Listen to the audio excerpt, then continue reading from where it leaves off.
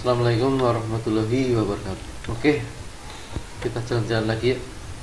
Sekarang kita mengawal langkah dari Desa Kaliwati, Kalimati. Kita akan lewat jalur pintas menuju ke Desa Minangun lewat belakang SD Minangun. Terlihat nih depan ada rumah saudara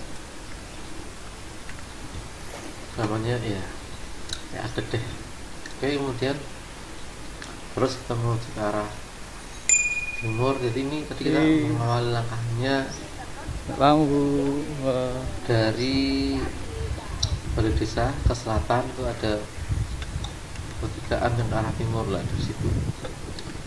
Itu jalan yang menuju ke terbis terbis Kalimati yang menuju Bulak nanti ke Binangun nah ini ini batas antara Kalimati dengan Binangun gua tadi terlihat perbedaan jalannya.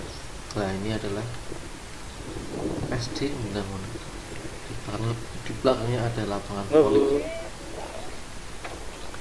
oke lanjut terus kita menuju belok ke arah timur. Melewati jalan ini bisa dilewati biar gerobak bisa ini becak bisa bentor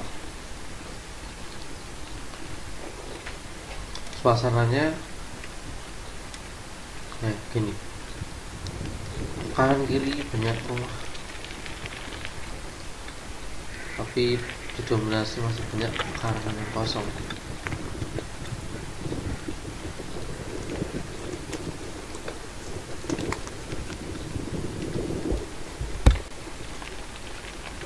kemudian lah ini ini kita bertemu dengan jalan yang dari arah depan SD Pol mentok timur ketika belok kiri. Bisa lewat situ juga. Nah, ini kita lewat gula yang sebelah utara. Terus nanti itu kita ketemu dengan ketemu dengan ini desa Binangun yang sebelah timur oke terus. Kebetulan kita pernah lewat jalur ini tapi karena kita mengambil jalan pintas ya kita tayangkan lagi nggak apa ini pemukiman masih satu dua belum begitu banyak. Juga masih didominasi oleh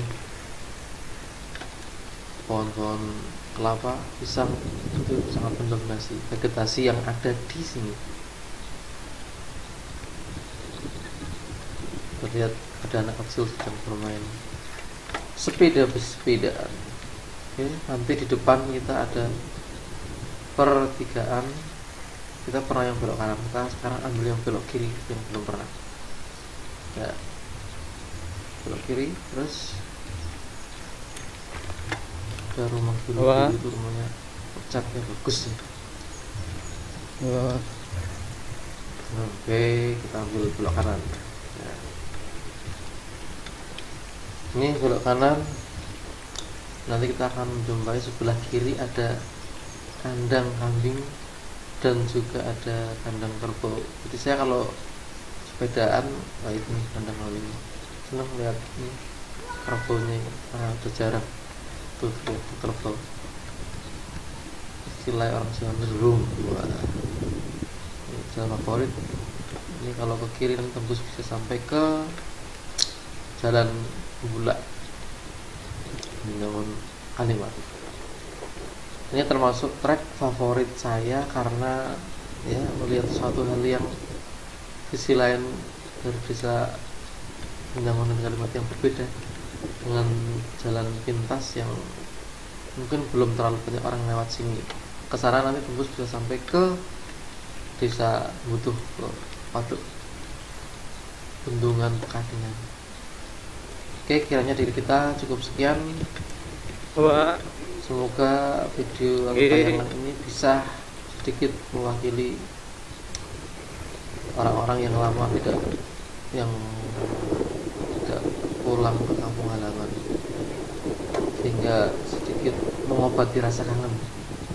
Oke katanya dari kita pasti banyak kesalahan dalam bentuk kata karena itu kita mohon maaf yang setulus-tulusnya sekian wassalamualaikum warahmatullahi wabarakatuh. Ciao Ari Federsi.